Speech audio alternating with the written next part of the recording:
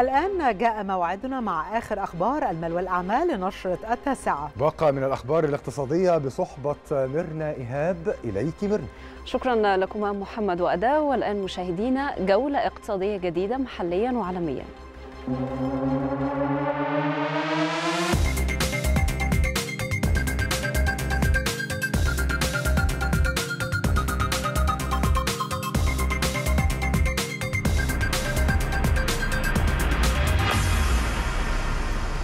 عقدت وزارة التخطيط والتنمية الاقتصادية جلسة مشاورات وطنية حول تعهدات مصر نحو تحقيق أهداف التنمية المستدامة. وأكدت وزيرة التخطيط هلأ سعيد أن مصر تولي اهتماما بالغا بالمشاركة في أعمال قمة أهداف التنمية المستدامة لعام 2030 وتقديم إسهاماتها لأجندة عمل القمة. نهج الدولة المصرية دايما هو نهج تشاركي. دايما الحكومة تتشاور مع القطاع الخاص والمجتمع المدني الأكاديميين ممثلي المجالس النيابية. كله كان حاضر النهارده طبعا بالإضافة للشباب والمرأة.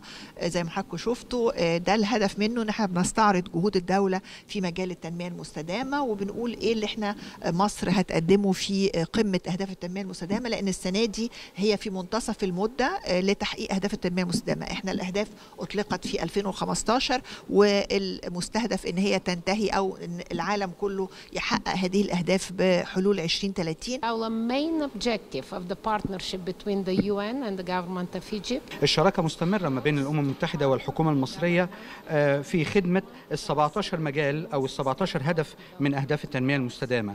ولذلك فنحن سعداء جدا ونقدر جدا أن الحكومة المصرية ومصر ككل كبلد بشكل عام تلتزم بأهداف التنمية المستدامة رغم كل الظروف الصعبة التي تواجه العالم والأزمات التي تواجه المنطقة والعالم أثر كوفيد 19 أثر الصراعات والحروب والأزمات في العالم وأثر اقتصادي الناتج عن هذه الصراعات على الاقتصاد العالمي الا أن مصر لا تزال ملتزمة.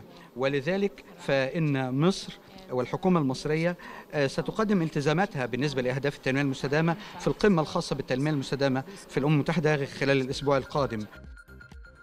أكد وزير البترول طارق الملا أهمية الاستمرار في تطبيق أحدث التكنولوجيات في عمليات البحث والاستكشاف وإنتاج البترول والغاز والاستمرار في زيادة معدلات الإنتاج وخفض المصروفات. جاء ذلك خلال اجتماع الجمعية العامة لشركة جابكو لاعتماد نتائج الأعمال عن العام المالي الحالي 2022-2023 حيث أشاد الملا بالنتائج التي حققتها الشركة ونجاحها في زيادة معدلات الإنتاج والتغلب على التحديات التي واجهتها من خلال التعاون والتكامل مع شركائها.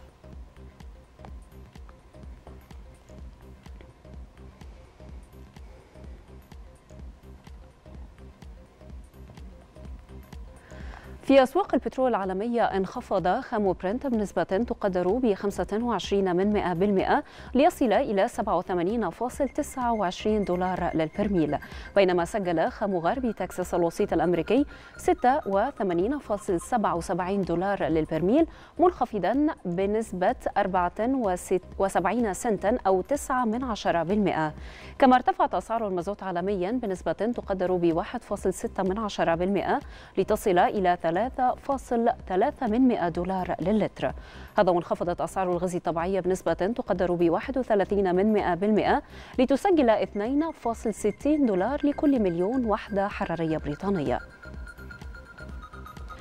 وقعت السعودية والهند أكثر من خمسين اتفاقية في منتدى الاستثمار الذي عقد برعاية الأمير محمد بن سلمان ولي العهد السعودي ورئيس الوزراء الهندي ناريندرا مودي بنيودلهي وأوضحت وزارة الاستثمار السعودية أن الاتفاقات تشمل مجالات تكنولوجيا المعلومات والاتصالات وريادة الأعمال والكيماويات والطاقة والصناعات المتقدمة.